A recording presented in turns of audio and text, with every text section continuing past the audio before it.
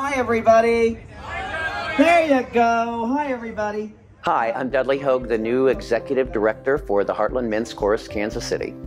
So it was 1993 when I joined as a singer. It was quickly after that that I joined the board and became the president of the board in 1995 96. And then I was gone for four years to New York City.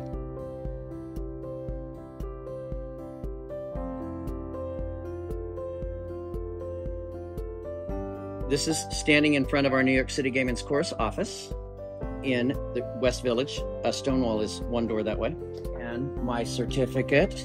Heritage of Pride is the organization that puts pride together in New York City, and they call it a march, not a parade. And then when I moved back, I rejoined as a singer. But I've also done choreography, production management, all kinds of other things like that for the chorus. So I became the development director in 2019 and have been in that position since until this promotion to executive director. Oh, wow. Now you'll make me cry. um, the chorus is uh, a family to me, always has been. I'm not a singing member of the chorus. Uh, it is, um, I have discovered that it is too much for me to, uh, to go to rehearsals and sing and practice and do all those rehearsals and all that memorizing and all that stuff and do my job at the same time. Besides living, eating, and breathing the chorus, I am very active in the church that I have worked in for years, but I also love to cook. I love to sew. I do a lot of handwork. I make quilts and I do a lot of things like that. This is a Christmas pillow sham.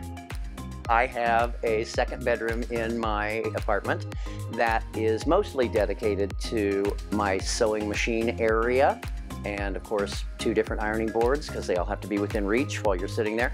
It's also dedicated to a large bookcase full of cookbooks. One of my faves, Gourmet Today.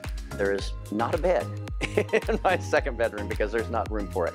Do a lot of handwork, embroidery stuff. And that's all the different colors of embroidery thread in numerical order. I have invested quite heavily in some of my hobbies, and they bring me a lot of joy, actually.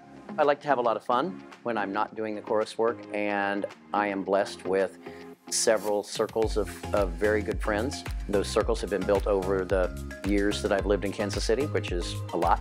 Thank you so much for your work, and on behalf of the Heartland Men's Chorus, congratulations. One of the things that I personally want to do for the chorus this year is get us out into the community more. I want us to do more performances in the community. I want us to be at various events, not necessarily performing, but just have a presence there. We still need to build community. We still need to um, celebrate pride, and our authenticity needs to be um, celebrated as well. And that's the mission statement of the chorus, and we're still singing to create a world of love and acceptance.